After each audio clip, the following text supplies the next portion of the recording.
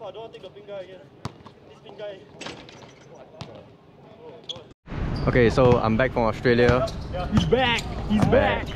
So organized a game at Chinatown Complex. Just trying to get things started again. Haven't touched the ball in about I don't know two to three weeks. Yeah. Let's let's let's let's, let's see some highlights. Let's see some highlights. Because that's what you guys are here for, right?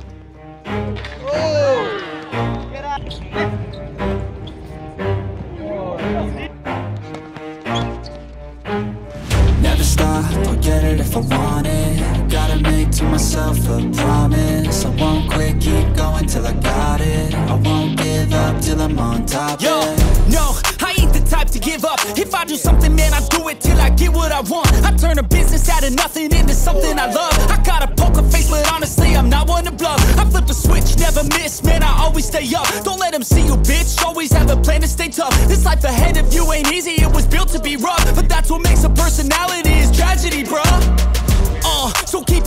your shoulders. Now we ain't out here moving rocks. We out here moving boulders. Now we ain't getting posterized. We out here making posters and we ain't got nothing. Okay, time now is 8.07. Uh, you can see behind the skyline.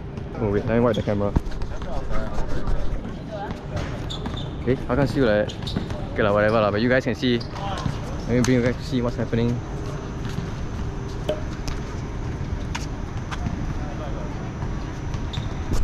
So just play a couple of games. Uh, lots of people today. You can see. Let me show you. There's like at least 12 guys here, 8 guys in the court. On the opposite side, it's one whole row of guys. Down there, I think at least got another 20 guys. So, gonna be a lot of basketball. And I'd like to do a quick breakdown of one of the players that came down that day. And this person is Adrian.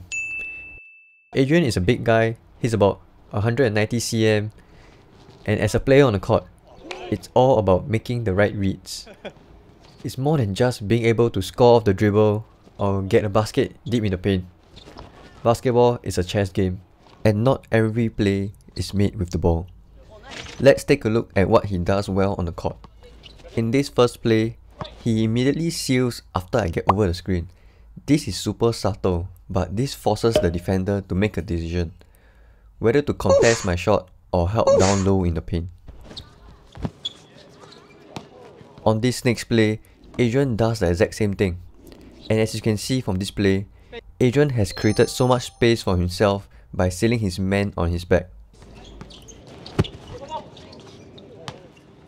He also knows where the offense should flow. He makes a screen down low and even points out to the ball handler where to pass it to. The ball handler didn't see me curling and passes the ball to Adrian, but Adrian knows that I'll be open with my man slacking behind him. He sees his teammate running over him, recognizing the play, and has already prepared to make the pass if no help defenders floods the paint.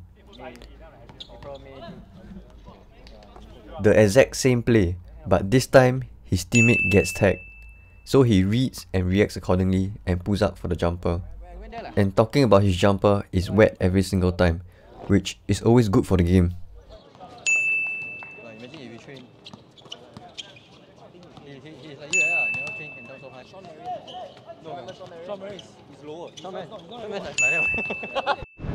Okay, so recently, uh, the 3x3 has been super popular in Singapore. I think they are trying to push the that format of games.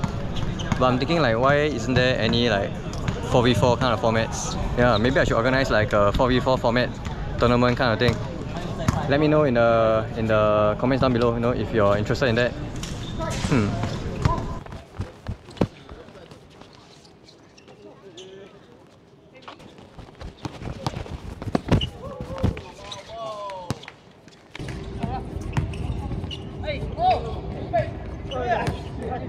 events.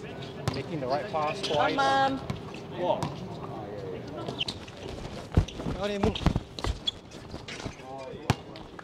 Coming to the end of the night, but just before we go, let's let's speak to some guys. Hey Keith. What's up? Welcome back.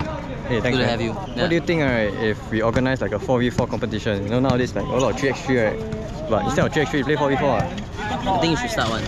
And uh, if you're watching, you know, do remember to subscribe. Remember to share this with all your friends who are basketball players in Singapore as well.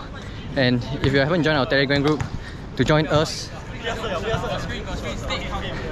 The link is in the description box down below. You can check us out there. Thanks for watching. I will see you guys in the next one.